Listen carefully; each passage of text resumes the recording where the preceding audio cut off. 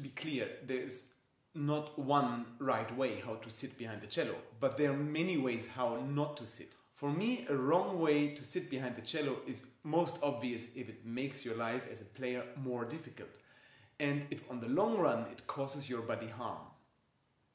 In order to play the cello as well as you can, you should position yourself in a way that helps you bring out the best of your body, soul, and not at last of your equipment, which is bow and cello. But the right way is very personal, as there are different body types and different sizes of body and limbs. All a teacher can do is try to help to find your way to feel well while sitting behind the cello. Find your own personal position which helps you master the cello even further.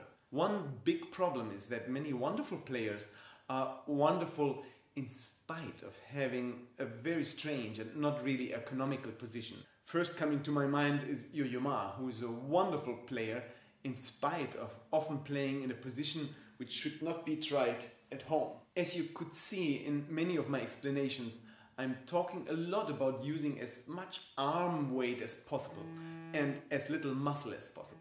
Am I succeeding? Not really, as you can see in my facial expressions when playing. And here's the dilemma.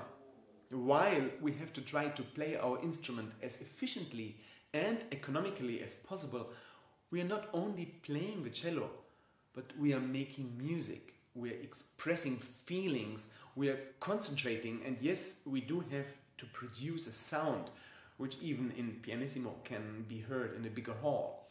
We have to find a good balance between being able to sit behind and play the cello in a way that allows us to take full advantage of our natural resources.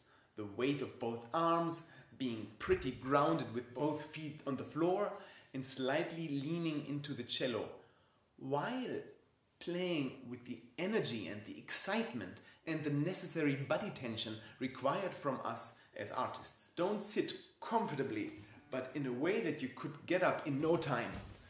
So definitely no leaning backwards, nor touching the back of the chair, but being on the edge of your chair, even if you have to play a Wagner opera for five hours. Believe me, your back will thank you one day.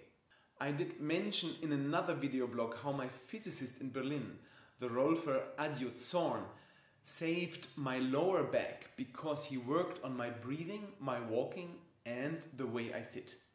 And I recommend everybody to try the following. When you sit down on a chair, yes, on the edge, try to sit on your sit bones, the so-called ischium.